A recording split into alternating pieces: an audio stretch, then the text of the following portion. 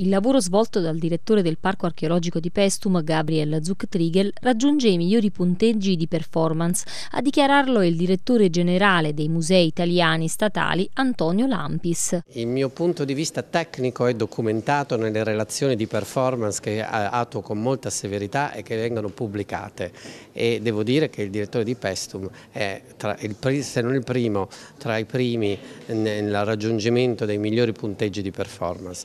Dopodiché posso anche dire che personalmente vedo l'impegno che fa ed è veramente straordinario, sono molto contento. Con lui abbiamo discusso anche dell'influenza dei social per la conoscenza dei musei statali e sullo stato attuale di salute.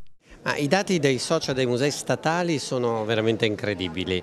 Eh, il Politecnico di Milano con il quale abbiamo una convenzione ci rende un rapporto oh, trimestrale che è pubblico, lo potete vedere sul sito e la presenza sui social è veramente esplosa e anche in un dibattito che ehm, sentendo anche l'umore è un dibattito prevalentemente positivo, anche se come, come dico sempre per gli enti pubblici, per le istituzioni pubbliche è difficile comunicare perché dentro la testa di chiunque c'è piove governo ladro no? e quindi è facile la critica verso, verso, quanto è pubblico. Il fatto di avere invece un riscontro positivo è, è veramente un doppio merito per chi è riuscito a lavorare con i social. I social sono importantissimi perché ehm, il lavoro della comunicazione pubblica non può avvenire solo tra giornalisti che parlano a giornalisti, ma oggi bisogna bussare proprio al campanello delle persone e, uno di questi campanelli eh, si chiama appunto oh, social media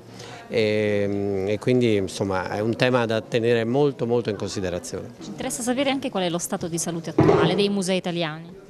Eh, lo stato di salute dei musei statali è incredibile in questo momento perché in, eh, quattro anni sono cresciuti quasi del 27% i visitatori, il doppio della media dei turisti, quindi vuol dire che la metà di questo boom sono concittadini italiani. Gli incassi sono cresciuti oltre del 40% in, quattro anni, quindi nulla dal punto di vista sociale o economico ha questi livelli di crescita.